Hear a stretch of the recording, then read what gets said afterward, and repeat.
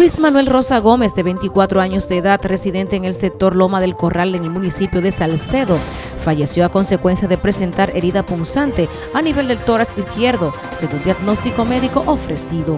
Eh, ellos venían, ellos estaban en una carnicería que ahí estaba una chicharrón y viene ese loco por atrás y le dio, y le dio esa puñalada. No, no, yo no era nadie. ¿Dónde residía? Eh,